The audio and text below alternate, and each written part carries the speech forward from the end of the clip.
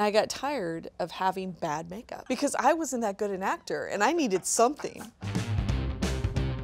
I don't know. I've never made a severed head, but I'll try. Tell me about the first time you blew up a head. it didn't go well because I don't know anything about shotguns.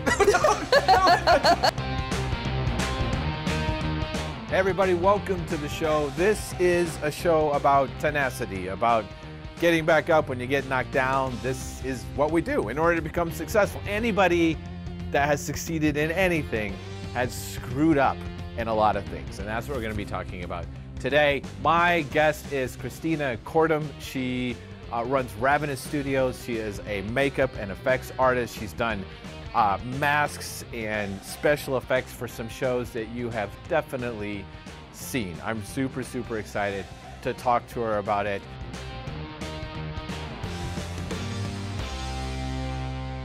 Everybody, welcome to the show. On tonight's show, uh, we have Christina Kortum of Ravenous Studios. It's uh, uh, makeup, masks, special effects, all sorts of cool things. Uh, welcome to the show. Thank you. It's, Thanks for having me. Yeah, 100%. I'm really, I'm excited to, uh, I, I, don't want to, I was going to say nerd out on this stuff, but that's kind of, uh, maybe that's a stereotype. No, it's fun. What are you talking about? Monsters are the best.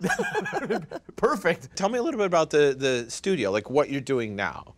Uh, well, I make prosthetics for film, basically, for oh. TV and film. And yeah. I also make props. Um, that's a side business that's kind of popped up and yeah. taken over in some ways. So you make masks that people Basically, wear. masks, yeah. yeah so when you, somebody needs to, like, let's say they're taking a character and they want them to be 80 and yeah, they're only 40, you know, that sort of thing. I make the pieces to do that. To make that happen. Yes. Like, would you put, if I wanted a mask mm -hmm. to look like I was 80, or just to make me good looking. Just give me one of those. no. Like I want a I want a Brad Pitt mask. Would you like uh, like put it on, you capture my face, and then. Yeah, so uh, the first thing we always start with is usually a live cast because we want it to fit perfectly because that's how it's going to fool the camera. So we do a live cast and we use silicone now, not just. Used to be we used alginate, which was like a natural product. What's that was. That? It's made out of seaweed, believe it or not. Yeah. Silicone's way better. Now, now we've advanced, and uh, we use two-part medical silicone, which is really really great. Um, basically, you mix the two components together, and it's a little bit like frosting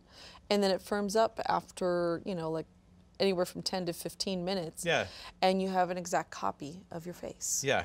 And the awesome part about that is then i can make multiple copies of your face to do the different parts of the prosthetic oh, that okay, we need okay, to do. Okay, so just the nose maybe or just the ears or just the cheeks, you know, I can kind of break it down into all the pieces that I need. Have you have you ever made uh, have you made masks for yourself? Oh, all the time. That's all how the, I started. Yeah. That's how I started was doing my own makeup yeah. like doing your own masks well, as well? I started in haunted houses actually. Okay. And I started as an actor. And I got tired of having bad makeup because I wasn't that good an actor and I needed something. I realized that I, I wasn't cutting it as an actor and I needed like something really, really scary to help, you know, push. Then I don't need to say anything. You can just be so, that that actor. Yeah, you just exactly, there and look. exactly. Yeah? That's what I, you know, it's true. I, I fell back on because I wasn't that great an actor. But I started making my own makeups and, yeah. and, and coming in makeup to the haunted house. And yeah. after a while, they um, they're like, "Wow, you're getting pretty good. You want to join the makeup team?" So that's yeah. that's my. you would show up strange. in makeup to the haunted house. Uh, is funny story. I because of my schedule because I worked in I was actually at the time a network engineer and I didn't have time. I'd get off work, slap on the makeup, rush in rush hour traffic in the Bay Area uh, to the haunted house. There was just no time for me to to not come in makeup. Yeah. And then I'd leave, and nobody actually knew what I looked like.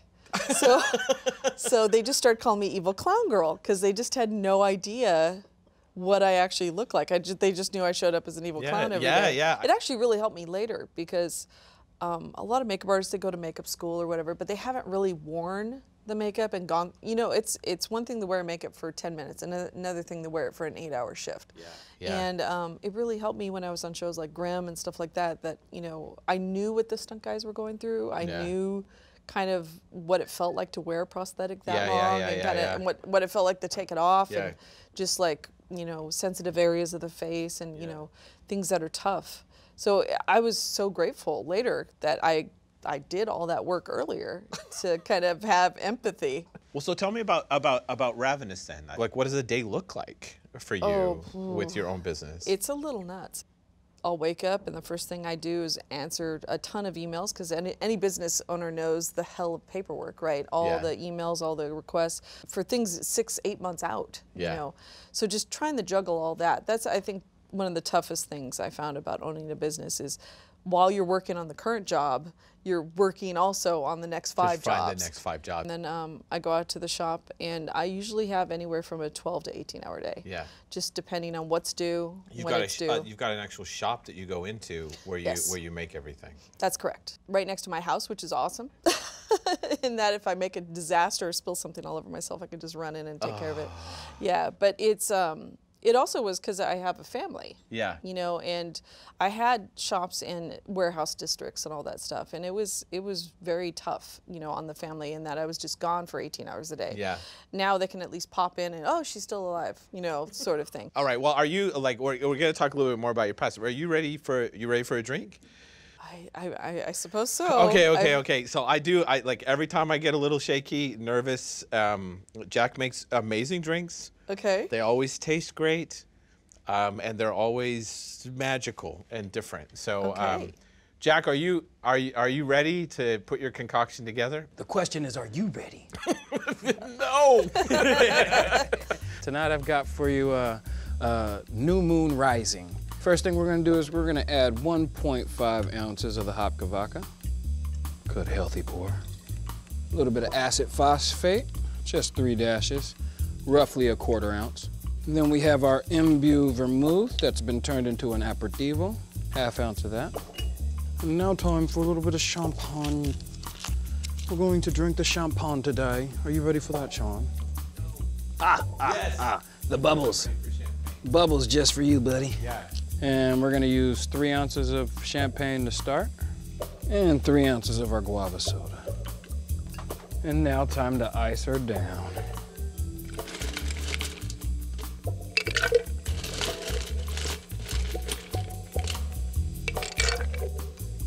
All right, now that we are ice cold and silky smooth, I'll be adding a little bit of rose water.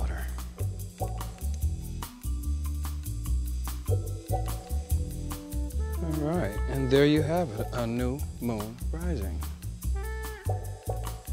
Wow. I told you. That's impressive. it's like a lifesaver. It is. It's so pretty. It is pretty. I'm gonna pick mine up from the middle. Okay. Okay. All right. We're gonna we got oh, it's heavy. It is heavy. All right, Very we have cold. to. Yeah. Uh, Carefully. There we go. uh, Proust. I don't know what. The, okay. All right. Thank you, Jack. Thank you. Thank you. That's guava. It's really good. This is really good. All right, it's good. All right, you are you good? I think so. All right, I'm probably gonna. How about if you lift it up again Okay. later, then I'll lift mine up again later. Okay. Then we can. I'm so careful, like of the. Okay, it's huge. All right, now, tell me. ab- beautiful. It's yeah, af- absolutely After we've had some Beautiful Hopka vodka, tell me about your childhood.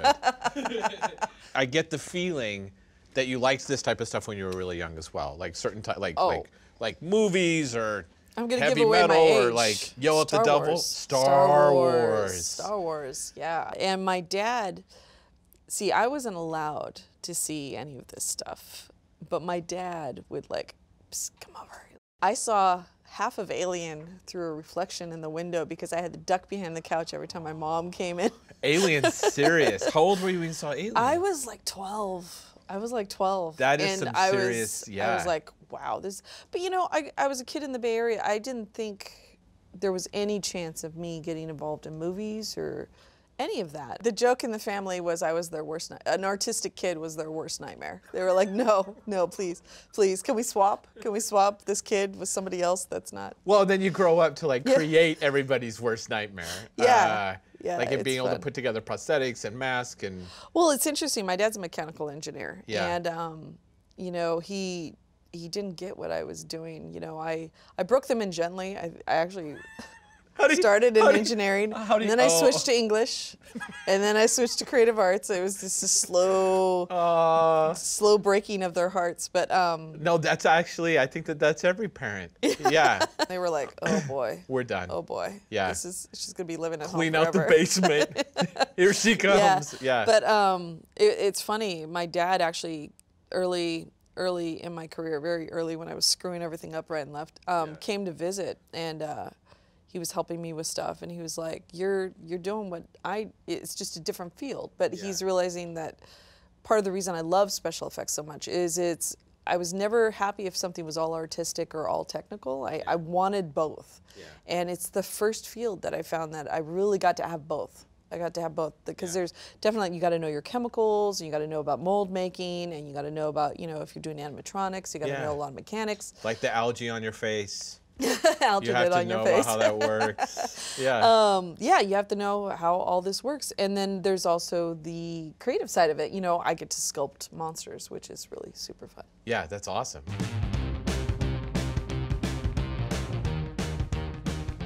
When I started out, I had a full-time job, and then I was basically working on film for free. What was your full-time job? Plus materials. I did database design. I Oh, was okay. a database designer. You're DBA Yeah. designer. yeah, database Oh, yeah. designer.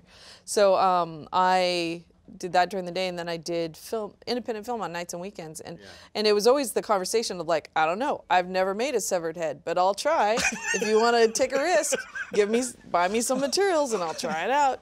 and um, and that was a lot of, uh, you know, it's crazy. Portland was my school. Yeah. You know, and it was all these independent filmmakers were my teachers in a way because they believed in me and they gave me materials and they let me What was try your stuff What out. was your first severed head? Do you remember? Oh yes, yes. It was for David Walker. I love that we're having this conversation right now.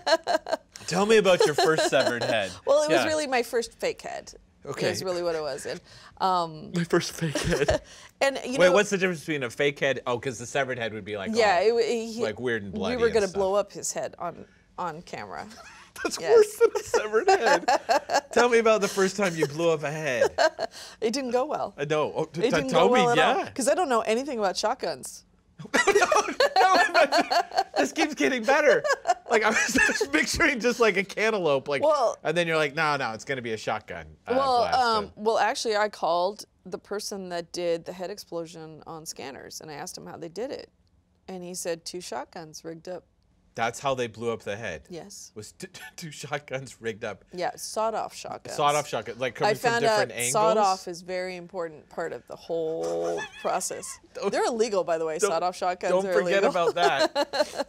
Did you find two sawed-off shotguns? No, I found one,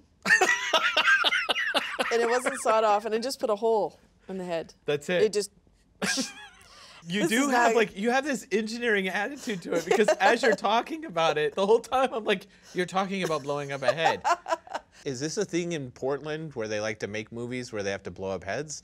Um, is it like uh, this underground scene I don't know about? That's, Well, there's a ton of creatives. Yeah, there's yeah, a ton yeah. of creatives doing stuff way outside the box. Yeah. And it was a, a great place for me. You know, I landed there and um, fell in with some, you know, indie filmmakers and just, it was a great hobby. Yeah, It yeah, was yeah, really yeah. fun. well, you worked on um, a, a show that I've actually seen an awful lot.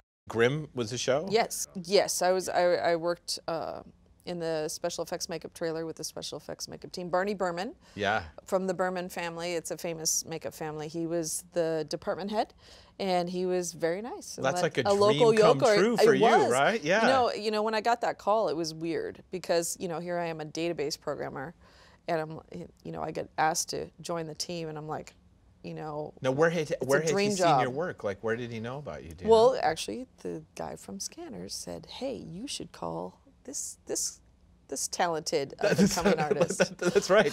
She knows about sawed-off shotguns. Give her a phone call. Yeah, no, it was a recommendation. So this is like your your your your corporate job. Uh, would be doing so, which is crazy because you wouldn't want to call that a corporate job, but that's you working for a company. Yes, I was working for Before- Universal Studios. Yeah, before you working for Universal Studios. yeah, that's NBC awesome. yeah. Universal. Yeah. It was um, it was great. It Yeah. was the, the a dream job and the best job I've ever had. You know, I had a lot of pinch me moments because you know here, you know, he's grown up in this famous makeup family, so of course he has a lot of famous makeup friends. You know, and I turn around, it's like one of my idols, and you know, every week it was that way. It was like, okay, Don't freak out. Don't, freak out. Don't Only freak say out. smart things. Only say smart things. So yeah, it, but I mean, wow, what an opportunity to Yeah. meet the people that I'd seen their work and admired their work so much. Yeah. And just you know meet them in the flesh and get to work side by side with them and assist them. Yeah, it yeah. was it was nuts. You you moved on to doing your own thing. Like what what pushed you into that? Why not Well- just stay doing um, stuff for Universal? Well, you know, it was a rare opportunity to show that large, having all that creature work coming here, um, and I realized that that wasn't, you know, that was a once in a lifetime kind of thing. Like Yeah, yeah, I, yeah, yeah. chances of another show with that heavy uh, effects team needed was probably not going to happen.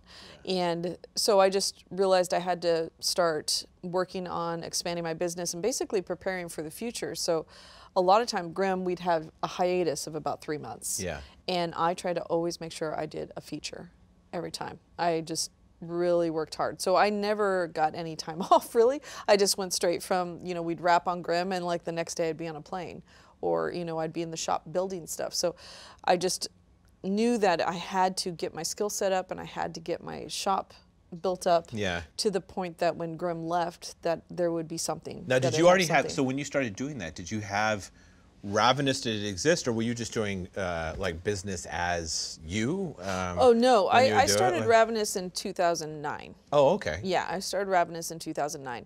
I had started doing film in 2006. That's when I started doing the like the little side gigs. Yeah, and, yeah. Um, getting into it, and then I realized 2009. I was like, I need to make this like a real business because I started making prosthetics, and nobody else in town was making prosthetics. Everybody was purchasing them either online or from friends. Yeah. And I was like, no, I'm making stuff. Yeah. You know, I need to actually have a business to do this, and I don't know how to start a business. You know.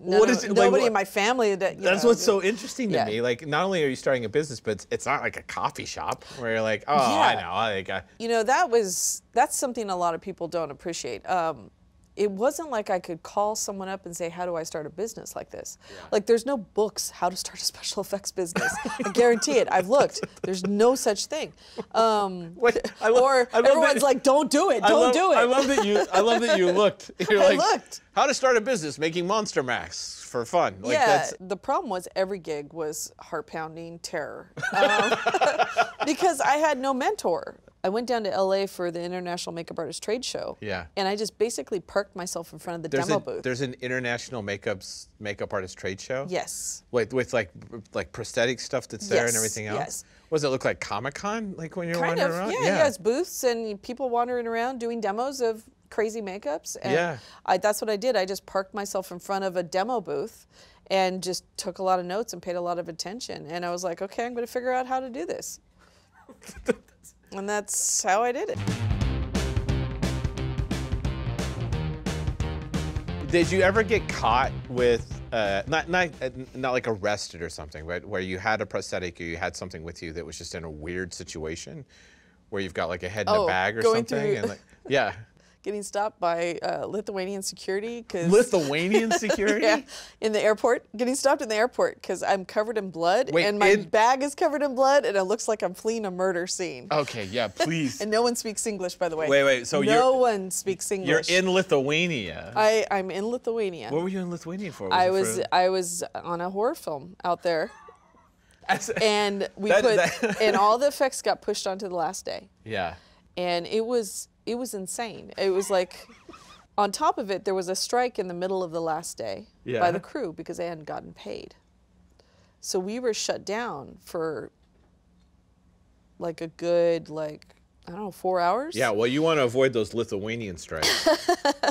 those Well, are it, but news. it- that four hours missing means all my effects were compressed. Now, you know, I had 12 hours to do it. Now I got eight, you yeah, know, sort of thing. Now you just got spray bottles with blood that are Pretty coming much. out. Yeah. Yeah, and it was like I, I had the, you know, I was putting the director of the work, the producer. I was like, hey, this is all your fault. Come over here, hold this syringe. You know, I was a little nuts. I was a little nuts by the end. I was like, and then um, I was gonna miss my flight. I scrape my stuff into like off the table, just literally scrape it into my trunk, close it up, get in a taxi. The actors actually helped me pack up my room because I'm not going to make my flight the way we're going. Um, and we rushed to the airport. Not one person on the entire crew told me I had blood sprayed all over my face. Not one person.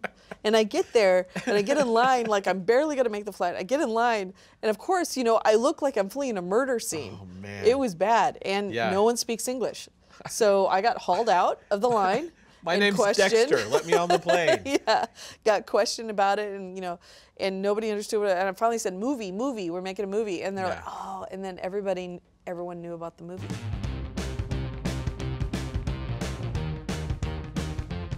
Now that you've had Ravenous Stew, you've had it for how long? How long is it? 2009. 10, 10 years. now. It's been open ten years. Yeah. Yeah, like what are you what like what are you thinking m- moving forward? Like what have you learned?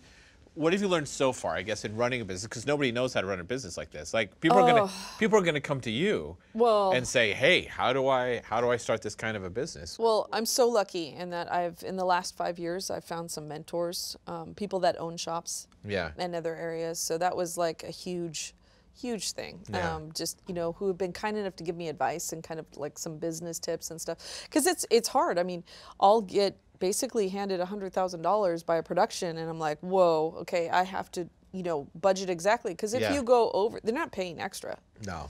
So if you go over, that's you. That's me. Yeah, Uh, yeah, I mean, yeah, I'm going to take the. And there, there's been gigs where I haven't made any money because you know somebody poured a mold wrong, or Right. you know, like that's the other thing. You start hiring people, then you start introducing other elements um, into the mix Yeah. where people are doing things. You know, maybe somebody forgets to close a bucket lid, and then it dries out, and the next day you're going to use it, and you're like, oh God. It's really stressful. It's it's very very stressful, but it's I love the challenge. I Yeah. guess so.